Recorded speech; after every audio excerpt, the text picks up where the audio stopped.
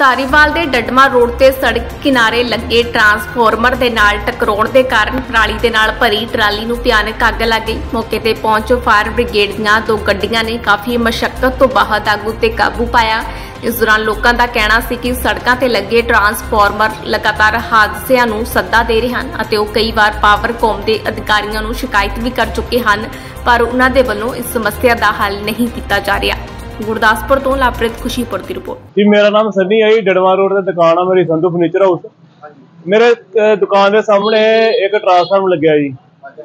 Transform ਦੇ ਲਾਗੇ ਕੋਈ ਵੀ ਟਰਾਲੀ ਲੰਘਦੀ ਆ, ਉਹ ਜ਼ਿਆਦਾਤਰ ਖਹਿ ਕੇ ਲੰਘਦੀ ਆ ਵਾ, ਤੇ ਅਸੀਂ ਪੂਰਾ ਦਿਨ ਇਹੀ ਕੰਮ 'ਚ ਰਹਿੰਦੇ ਆ ਕਿ ਟਰਾਲੀਆਂ ਕਿੱਦਾਂ ਲੰਘਾਈਏ। ਠੀਕ ਆ ਜੀ? ਪਰਾਲੀ ਦੀ ਭਰੀ ਟਰਾਲੀ ਨਿਕਲੀ ਆ ਜੀ, ਤੇ ਇਹ ਟਰਾਂਸਫਾਰਮ ਦੇ ਲਾਗੇ ਖੜੀ ਸੀ। ਜਦੋਂ ਉਹਨੇ ਓਵਰਟੇਕ ਕਰਨਾ ਸੀ, ਤੇ ਬਿਲਕੁਲ ਨਾਲ ਜੋੜ ਦਿੱਤੀ ਸੀ। ਜਦੋਂ ਉਹਨਾਂ ਨੂੰ ਅਸੀਂ ਇਨਫੋਰਮੇਸ਼ਨ ਦਿੱਤੀ ਕਿ ਭਾਜੀ ਇਹਨੂੰ ਥੋੜਾ ਜਿਹਾ ਪਰੇ ਕਰ ਲਓ ਅੱਗ ਲੱਗਣ ਦਾ ਡਰ ਆ। ਜਦੋਂ ਉਹਨਾਂ ਨੇ ਪਰੇ ਕੀਤੀ ਤੇ ਉਹ ਨਾਲੇ ਉਹ ਉਹ ਤੋਂ ਸਪਾਰਕ ਹੋਈ ਆ ਸਪਾਰਕ ਹੋ ਕੇ ਅੱਗ ਲੱਗੀ ਹੈ ਜੀ। ਤੇ ਉਹ ਅੱਗ ਲੱਗਣ ਦੇ ਬਾਅਦ ਉਹਨੇ ਬੈਕ ਕਰਕੇ ਤੇ ਟਰਾਲੀ ਲਾਈ ਆ ਤੇ ਟਰੈਕਟਰ ਜਿਹੜਾ ਵਾ ਉਹ ਭਜਾ ਕੇ ਲੈ ਗਿਆ ਜੀ। ਹਾਂਜੀ ਇਹ ਜੀ ਆਪਣੇ ਡੜਵਾ ਤੋਂ ਆਂਦੀ ਪਈ ਜੀ ਸ਼ਹਿਰ ਨੂੰ। ਕਿੰਨੀ ਕੁ ਆਗੀ ਜੀ ਹਾਂਜੀ? ਆਗੀ ਕਿਸ ਤਰ੍ਹਾਂ ਮਗੇ? ਇਸ ਤਰ੍ਹਾਂ ਬਹੁਤ ਮੰਗੀ ਬਹੁਤ ਜ਼ਿਆਦਾ ਅੱਗੀ ਜੀ। ਦੋ ਫਾਇਰ ਬ੍ਰਿਗੇਡ ਦੀਆਂ ਗੱਡੀਆਂ ਆਈਆਂ ਵਾ ਜਿਨ੍ਹਾਂ ਨੇ ਅੱਗ ਬੁਝਾਈ ਹੈ ਜੀ। ਨਾਮ ਦੇ ਕੰਮ ਮੁੱਕਿਆ ਕੋਈ ਜਾਨੀ ਮਾਨੀ ਕਿਸੇ ਦਾ ਕੋਈ ਨੁਕਸਾਨ ਨਹੀਂ ਹੋਇਆ ਉਦਾਂ ਕੋਈ ਵੀ ਕਿਸੇ ਕੋਈ ਕਿਸੇ ਤਰ੍ਹਾਂ ਦਾ ਕਿਸੇ ਨੂੰ ਕੋਈ ਨੁਕਸਾਨ ਨਹੀਂ ਆ ਲੇਕਿਨ ਹੋ ਸਕਦਾ ਸੀ। ਕਾਫੀ ਜ਼ਿਆਦਾ ਨੁਕਸਾਨ ਹੋ ਸਕਦਾ ਸੀ ਜੇ ਹਵਾ ਚੱਲਦੀ ਹੁੰਦੀ ਜਾਂ ਕੋਈ ਹਨੇਰੀ ਆਈ ਹੁੰਦੀ ਕਾਫੀ ਹੋ ਸਕਦਾ ਹੈ ਦੇਖੋ ਜੀ ਇਹ ਡਡਵਾ ਰੋਡ ਧਾਰੀਵਾਲ ਸ਼ਹਿਰ ਦੇ ਵਿੱਚ ਅੱਜ ਬਹੁਤ ਹੀ ਵੱਡੀ ਜਿਹੜੀ ਆ ਘਟਨਾ ਹੋਣੀ ਜਾ ਰਹੀ ਸੀ। ਪਰ ਚਲੋ ਪ੍ਰਮਾਤਮਾ ਦਾ ਸ਼ੁਕਰ ਹੈ ਵਾਹਿਗੁਰੂ ਦਾ ਸ਼ੁਕਰ ਹੈ ਵੀ ਸਾਰਾ ਬਚਾਅ ਹੋ ਗਿਆ।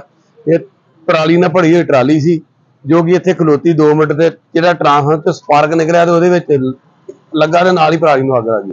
ਸਾਰੀਆਂ ਤਾਰਾਂ ਸੜ ਗਈਆਂ ਪਬਲਿਕ ਨੇ ਸ਼ਹਿਰ ਵਾਸੀਆਂ ਨੇ ਸਾਥ ਦਿੱਤਾ ਤੇ ਉਸੇ ਵਕਤ ਫੋਨ ਕੀਤਾ ਤੇ ਫਾਇਰ ਬ੍ਰਿਗੇਡ ਆਈ, ਬਿਜਲੀ ਬੋਰਡ ਨੂੰ ਦੱਸਿਆ ਤੇ ਬਿਜਲੀ ਬੋਰਡ ਨੇ ਲਾਈਟਾਂ ਬੰਦ ਕਰਤੀਆਂ, ਜਿਹਦੇ ਨਾਲ ਜਿਹੜੀ ਬਹੁਤ ਨੁਕਸਾਨ ਹੋਣਾ ਹੈ ਸ਼ਹਿਰ ਦਾ, ਕਿਉਂਕਿ ਤੁਸੀਂ ਦੇਖ ਸਕਦੇ ਹੋ ਵੀ ਲਾਗੇ ਲਾਗੇ ਦੁਕਾਨਾਂ ਵਾ ਤੇ ਬੜਾ ਥੋੜਾ ਜਿਹਾ ਰਾਹ ਵਾ ਇੱਥੇ।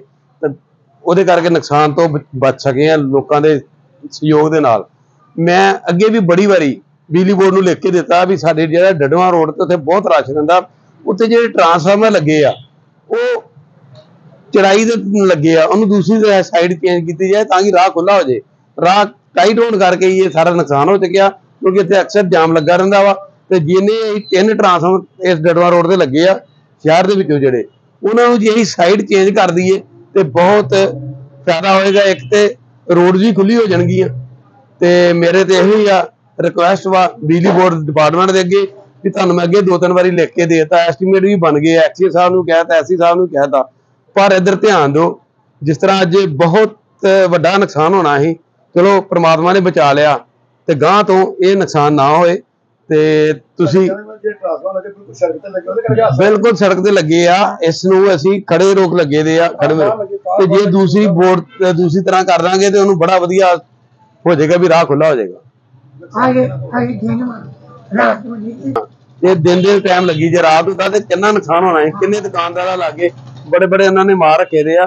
ਤੇ ਚਲੋ ਪ੍ਰਮਾਤਮਾ ਦਾ ਸ਼ੁਕਰ ਆ ਵੀ ਉਹਨਾਂ ਨੇ ਨਾ ਲੋਕਾਂ ਨੇ ਸਹਿਯੋਗ ਦਿੱਤਾ ਤੇ ਬਚਾਅ ਹੋ ਗਿਆ। ਫਾਇਰ ਬ੍ਰਿਗੇਡ ਆ ਗਈ ਸੀ ਟਾਈਮ ਸਿਰ। ਮੈਂ ਹੁਣੇ ਹੁਣੇ ਮੈਨੂੰ ਪਤਾ ਲੱਗਾ ਸੀਗਾ ਕਿ ਮੇਰੇ ਡਡਵਾ ਰੋਡ ਧਾਰੀਵਾਲ ਦੇ ਵਿੱਚ ਜਿਹੜੀ ਇਹ ਦੁਰਘਟਨਾ ਬੜੀ ਤਗੜੀ ਹੋ ਜਾਣੀ ਸੀ ਤੇ ਪ੍ਰਮਾਤਮਾ ਨੇ ਹੱਥ ਦੇ ਕੇ ਬਚਾਇਆ ਮੇਰੇ ਦੁਕਾਨਦਾਰ ਵੀਰਾਂ ਨੂੰ ਕਿ ਇਹਦੇ ਉੱਤੇ ਜਿਹੜਾ ਆ ਟਾਈਮ ਨਾਲ ਕਾਬੂ ਪਾ ਲਿਆ ਗਿਆ ਆ। ਨਹੀਂ ਤੇ ਇਹਨੇ ਅੱਗ ਨੇ ਜਿਹੜਾ ਸੀ ਬੜਾ ਨੁਕਸਾਨ ਕਰਨਾ ਸੀ ਤੇ ਇੱਕ ਹੋਰ ਬੜੀ ਜਿਹੜੀ ਇਹ ਬਚਾਅ ਦੀ ਗੱਲ ਰਹਿ ਗਈ ਕਿ ਦਿਨ ਸੀਗਾ। ਜੇ ਰਾਤ ਹੁੰਦੀ ਤੇ ਇੱਥੇ ਲਾਗੇ ਲਾਗੇ ਫਰਨੀਚਰ ਦੀਆਂ ਦੁਕਾਨਾਂ ਜਿੱਥੇ ਆਪਾਂ ਖੜੇ ਆ ਤੇ ਬੜਾ ਵੱਡਾ ਜਾਨੀ ਨੁਕਸਾਨ ਹੋਣਾ ਸੀਗਾ। ਚਲੋ ਪ੍ਰਮਾਤਮਾ ਨੇ ਬਚਾ ਕੀਤਾ, ਜਿਹੜਾ ਜਾਨੀ ਮਾਲੀ ਬਖਸ਼- ਨੁਕਸਾਨ ਤੋਂ ਹੀ ਬਚ ਗਏ ਆ।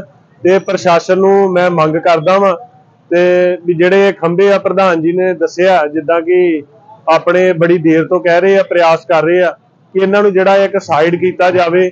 ਤੇ ਮੈਂ ਵੀ ਜਿਹੜਾ ਆ, ਸਵੇਰੇ ਹੀ ਨਾਲ ਜਾ ਕੇ ਨਾਲੇ ਤੇ ਸੋਮਵਾਰ ਹੈ ਸਵੇਰੇ, ਅੱਜ ਛੁੱਟੀ ਦਾ ਦਿਨ ਆਪਾਂ ਸੰਪਰਕ ਤੇ ਕੀਤਾ ਆ। ਤੇ ਧਿਆਨ ਚ ਤੇ ਲਿਆਂਦੀ ਆ ਗੱਲ ਬਿਜਲੀ ਬੋਰਡ ਦੇ। ਤੇ ਜਿਹੜਾ ਆ ਜਲਦੀ ਤੋਂ ਜਲਦੀ ਜਿਹੜੇ ਟਰਾਂਸਫਾਰਮ ਨੇ ਤਿੰਨ ਵਿੱਚ ਰੋਡ ਦੇ ਲੱਗੇ ਆ ਇਹਨਾਂ ਨੂੰ ਪਰੇ ਕਰਾ ਦਿੱਤਾ ਜਾਊਗਾ हमारे नए campus dream school and coaching institute में स्वागत करता हूं मैं आप लोगों को बता देना चाहता हूं कि हमारे इंस्टीट्यूट में classes fifth to twelfth both schooling and coaching की एडमिशन ओपन हो चुकी है जो स्टूडेंट्स हमारे कोचिंग इंस्टीट्यूट में both schooling and coaching facility को लेंगे, उनको कोई भी एक्स्ट्रा ट्यूशन या कोचिंग लेने की ज़रूरत नहीं पड़ेगी। उनका समय और उनका पैसा, दोनों हमारे साथ एडमिशन लेने पे बच सकता है।